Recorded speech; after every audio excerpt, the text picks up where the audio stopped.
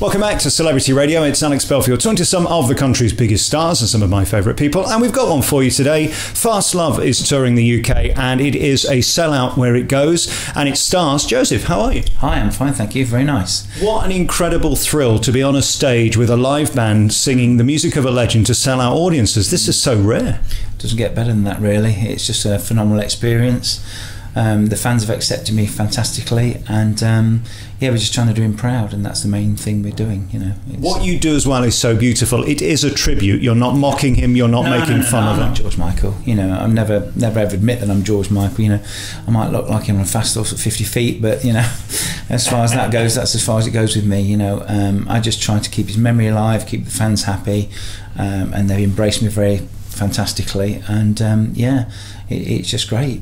What's astonishing is the fact that these songs are not karaoke songs that anybody can do. They're really tricky. They're mostly very high. Mm. They're mostly very long, and they're very difficult. How tough is it doing this length of show as George Michael? Yeah, amazingly tough. Um, I think my voice has gone down a, a pitch from when when I first started the tour.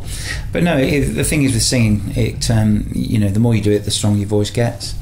So anyway, that has helped me. But um, yeah, it's uh, all good. And listening to the sound check just now, the sound system is amazing, and that's part of it as well. You need to be helped in an arena this big. I mean, there's probably Yeah. 2,000 people in tonight. Yeah. That must be thrilling for you to hear that around you, and then Mm-hmm. the reaction of the fans on top. Yeah, it is. I mean, the thing is, it's a, it's a team effort. You know, um, it's not just about me. It's about the sound people. It's about the, you know, the band we've got behind us. We've got excellent musicians. Um, we've got fantastic dancers. So it's the whole package, really. You know, once you get the whole thing together and it all falls in place, we have a great um, a great team. Fundamentally, you're a great singer, and you could go out as Joseph and be you and probably do 100 people in a club. You chose to go this direction. Yeah. Um, it was very smart in a way. Was there ever a moment you went, Do I want to be me or do I want to be George?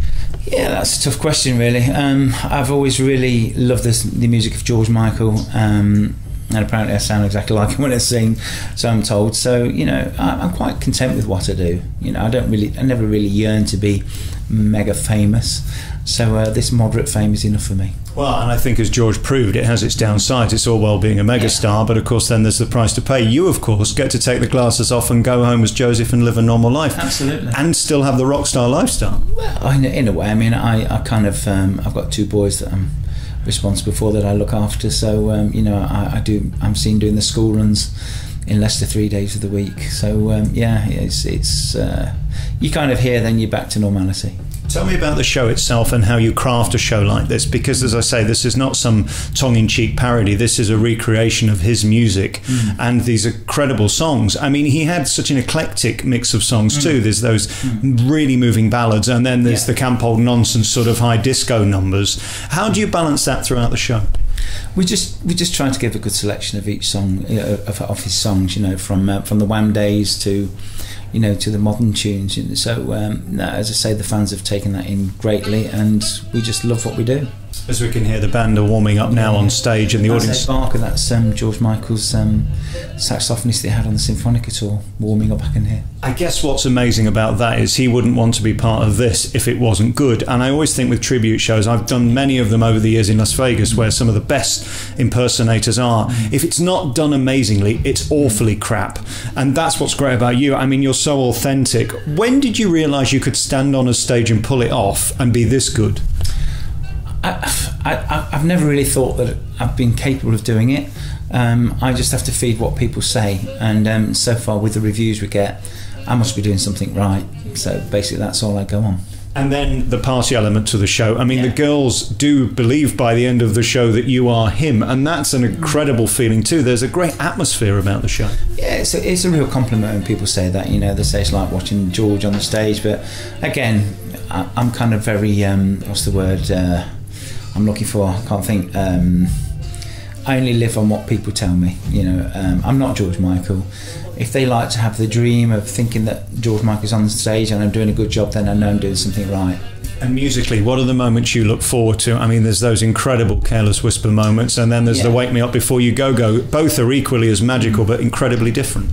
Yeah, I love the slower ballads myself. Um, I think that shows your voice off more. Anyone can blast out a, a "Wake Me Up Before You Go Go," "I'm Your Man," um, but uh, I think the, the slower tunes really show your voice off the most. And I, I love singing those because it's quite an emotional experience for me. you know, you, you feel like you've got almost a connection with George there, you know. So that for me, that's a very spiritual moment. And I said to you right at the beginning, it's so rare for any artist to have an arena this big, thousands of people wherever Yeah. you go. Are you even surprised that people want to sort of buy a bit of his history? Because we're never going to get George back. This is the hmm. nearest we're going to get. Well, I mean, I, again, I would love, I would love people to think that. You know, um, obviously, I'm not, as I keep saying, I'm not George, but um, yeah, if I can relive some kind of moment for them, bring it back to them for this amount of time or whatever time they're in the in the auditorium, then I've, you know that's my job done. Let's just talk a little bit about you if we can. I mean, prior to this, what were you doing? Because, I mean, this is a gift you've got. As I say, you could easily be a singer in your own right, should you choose to. Now you're doing these huge venues as George in Fastlove. Talk about before. Well, obviously, I've been a tribute now for over 20 years. Um, you know, I was doing normal hotels, festivals, things like that. But obviously now, I've been taken on, you know, by the production company. Um, yeah, it's lifted me into theatres and arenas, and the show's just gone from strength to strength. Um, as I say, what could I have been before? Obviously, I was a design consultant before. I used to design um, windows for people like Warner Brothers, Levi's. Um, but now it's kind of um, yeah, I've just fallen into what I do and what I love. I, I can't imagine doing anything else. I interviewed a Frank Sinatra impersonator in Las Vegas, who's probably the best I've ever seen anywhere in the in the world. He has a little tot of whiskey before he goes on, and that's the moment he becomes Frank. Okay. Do you do that, or is it an act? What What is your process? Um, I just go out there and sing. It's as simple as that. Um, I put a suit on across, um, and then I just sing. It's as simple as that. Um, I don't. I don't particularly drink. Um, I'm practically teetotal, so I don't really need a drink before I go on. Just the adrenaline's all there, and as I walk out, you know, providing the fans welcome you, which they, you know, hundred percent of the time do, I feel comfortable.